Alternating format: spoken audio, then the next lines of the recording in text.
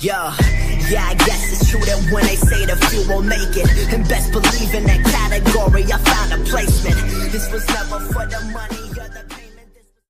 Hello I'm Abystroids and today I'm showing you how do noobs live in Minecraft. And I just have stone pickaxe and I'm here to mine hope I won't met dangerous mobs. Before that I'm gonna explore this village and kill those villagers to make less population. Haven't you noticed Mick new version has trading now?